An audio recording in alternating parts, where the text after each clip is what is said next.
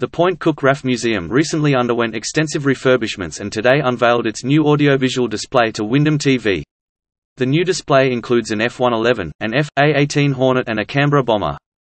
We spoke to the museum's director, Group Captain Robert Coops regarding the refurbishments. They still look a bit like uh, 1946 outside, but uh, inside we've now embraced our national aviation heritage and we show everything from the Australian Flying Corps, uh, which formed here at Point Cook in 1914, right through to the fast jets. The end result is this strike hangar, which we are going to formally recommission and reopen as part of reopening the RAAF Museum.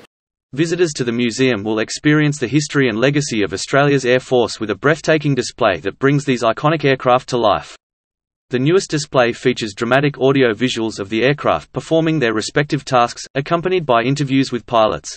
Deter, respond, air power, and particularly the role of strike aircraft in delivering air power is really key to that. Through this display, visitors can learn more about the aircraft's history, their significance on the RAAF, and the amazing feats they achieved while in service.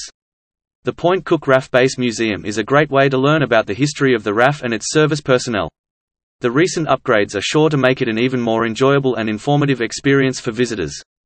We've done our refurbish project and on the 13th of April we aim to relaunch and reopen the museum. It'll be on the basis of bookings. Visitors uh, to the museum will need to book in be sure to check out this amazing display when the museum reopens in April.